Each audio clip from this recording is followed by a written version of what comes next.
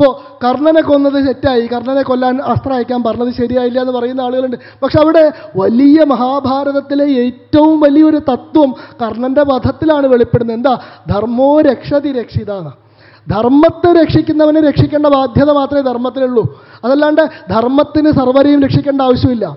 കർണനോട് ശ്രീകൃഷ്ണൻ ചോദിക്കുന്നുണ്ട് നീ ഇപ്പം എവിടെ ധർമ്മത്തെ പറ്റി ചോദിക്കുന്നുണ്ടല്ലോ? നീ ഏതെങ്കിലും സമയത്ത് ഈ ധർമ്മത്തെ രക്ഷിച്ചിട്ടുണ്ടോ? ധർമ്മം നിന്നെ ഇപ്പം രക്ഷിക്കണമെന്ന് അവകാശപ്പെടാൻ എന്ത് അധികാരമാണ് നിനക്കുള്ളത്? ഈ പാണ്ഡവരെ മുഴുവൻ കള്ളച്ചൂത് കളിച്ചിട്ട് രാജധാനിയിൽ നിന്ന് പുറത്താക്കിയപ്പോൾ നീ എതിർത്തോ? അത് അധർമ്മമായിരുന്നു നിനക്കറിയില്ലേ? ശകുനിയുടെ കയ്യിലുള്ളത് കള്ളച്ചൂതാണെന്ന് നിനക്ക് അറിയണ്ടായിരുന്നില്ലേ നീ അപ്പോൾ എതിർത്തോ? പാഞ്ചാലിയെ സഭയിലേക്ക് വലിച്ചഴിച്ച് വസ്ത്രാക്ഷേപം നടത്തുമ്പോൾ അതും രജസ്വലയായിരുന്ന ദ്രൗപദിയെ സഭയിലേക്ക് വലിച്ചഴിച്ച് വസ്ത്രാക്ഷേപം നടത്തുമ്പോൾ ദുശ്ശാസനൻ മടിയിലിരിക്കാൻ പറഞ്ഞപ്പോൾ വസ്ത്രം വലിച്ചു കീറിയപ്പോൾ നീ എതിർത്തോ? അത് അധർമ്മമായിരുന്നു നിനക്ക് അറിയണ്ടായിരുന്നില്ലേ?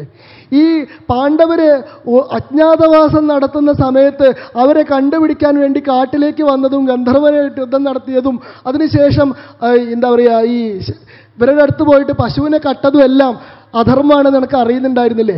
അഭിമന്യുവിനെ പതിനെട്ട് വയസ്സ് പൂർത്തിയാവാത്ത കുമാരനായിട്ടുള്ള അഭിമന്യുവിനെ ഈ പറയുന്ന എന്താ പറയുക ഇത്രയും മഹാരഥന്മാരെല്ലാവരും കൂടി ചേർന്ന് ചതിച്ചു കൊന്നപ്പോൾ അവരുടെ മുൻനിരയിൽ ഉണ്ടായിരുന്ന ആളല്ലേ നീ?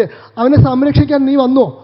അത് അധർമ്മമായിരുന്നു നിനക്ക് അറിയണ്ടാവില്ലേ? അപ്പം നീ നിന്റെ ജീവിതത്തിൽ ഒരു കാലത്തും ധർമ്മം പ്രവർത്തിച്ചില്ല. നിന്നെ നയിച്ചത് പാണ്ഡവരോടുള്ള പകയും പ്രതികാരവും അർജുനനോടുള്ള അസൂയയും മാത്രമാണ്. അർജുനനെ തകർക്കാൻ വേണ്ടി എന്ത് അധർമ്മത്തിനൊപ്പം നിൽക്കാനും ഏത് ദുഷ്ടനോട് സഖ്യം ചേരാനും നീ തയ്യാറായി. ദുര്യോധനെ പോലത്തെ ഒരു അധർമ്മിയുമായിട്ട് നീ പക്ഷം ചേർന്നു. എന്നിട്ട് നിനക്കൊരു ബുദ്ധിമുട്ട് വരുമ്പോൾ ധർമ്മം നിന്നെ രക്ഷിക്കണമെന്ന് നീ എങ്ങനെയാണ് അവകാശപ്പെടുന്നത് ധർമ്മത്തെ രക്ഷിക്കുന്നവനെ രക്ഷിക്കേണ്ട ഉത്തരവാദിത്തമേ ധർമ്മത്തിലുള്ളൂ. അതല്ലാണ്ട് ധർമ്മത്തെ തിരിഞ്ഞു നോക്കാത്തവനെ രക്ഷിക്കേണ്ട യാതൊരു ബാധ്യതയും ധർമ്മത്തിലില്ല. ധർമ്മോ രക്ഷതി രക്ഷിത എന്നാണ്.